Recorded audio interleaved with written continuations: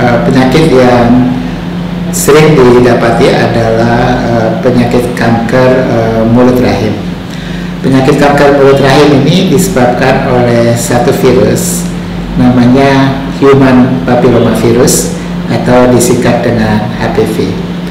Uh, rupanya HPV ini tidak hanya mengenai kaum perempuan, tetapi juga laki-laki dan pada laki-laki itu bisa uh, menyebabkan uh, uh, adanya kutil kelamin uh, atau genital word itu kita ada semacam kutil di daerah kelaminnya dan kutil itu bisa makin lama makin besar bahkan bisa besar sekali uh, sehingga amat uh, mengganggu dan kadang-kadang bisa juga uh, sampai berdarah.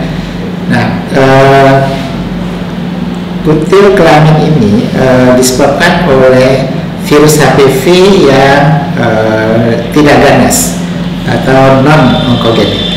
Tetapi sebenarnya ada lagi jenis-jenis uh, virus HPV yang bisa menimbulkan uh, kanker. Tadi pada perempuan kita sudah uh, jelaskan adanya kanker mulut rahim atau kanker serviks.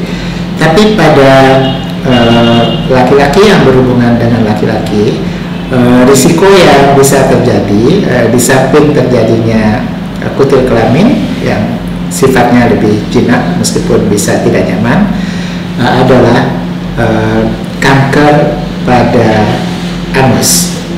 Nah, kanker pada anus atau uh, dubur ini uh, terjadinya di dalam dubur, di selaput lendir dubur, dan dia terjadi melalui proses yang lama. Jadi mulai adanya kanker yang awal sampai kanker yang lanjut itu memerlukan waktu bertahun-tahun.